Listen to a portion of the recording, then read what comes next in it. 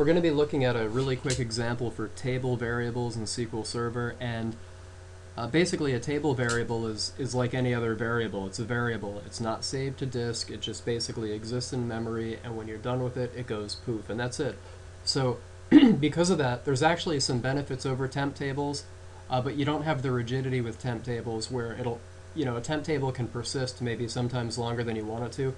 This doesn't persist at all. Let me show you a very quick example.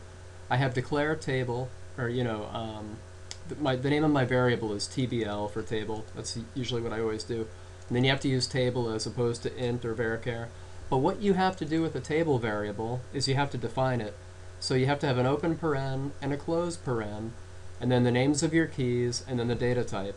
And there's other things that you can do, but we're just going to keep this simple. I'm just going to declare the table, and then I'm going to do a select count. Um, you can see here that I already had this going, but let me do that. Uh, I'm going to do a select count. And by the way, do you see how this says no column name? This isn't really part of what the video is about, but I wanted to show you something too. If I just say select count from anything, if I don't give count a name, then it just says no column name. So I'm just going to put CNT for count and run that again. And now it says count. It doesn't matter here. Here it doesn't matter what we do, but if you have this um, if you're going to be using this from a stored procedure and it's going to be a record set feeding something in say VB or C sharp, uh, and there's no name for the field, it can blow up.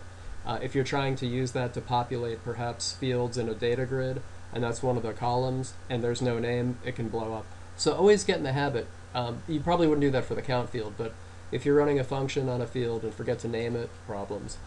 But now if you notice, I just ran this, and look, I keep running it, and running it, and running it, and running it, and running it. So just because this is a vari because this is a variable, um, every time I run this, it's like recreating it. It just it forgets that it ever existed. It doesn't care. It just gets erased. Um, if I was uh, doing a select into a temp table here, if I did this one time, the table would exist in the temp database until I, the connection is broken either through this window or some other means. So the beauty of this is this really is um, just in memory, and it, it doesn't really persist at all. Now, the only thing that you couldn't do, you probably wouldn't do something like this. This will probably get like at least one error. Um, if I try to run this now, when I say it doesn't persist, that doesn't mean that I can declare it two times and keep selecting from it because you can't really do that with any variable. That's like declaring two ints called, you know, x. You, you just, it doesn't, you can't really do that in any programming language. So let me do this. Yeah. You see? It says the variable name blah blah blah has already been declared. So, you know, you can't do that in any kind of programming.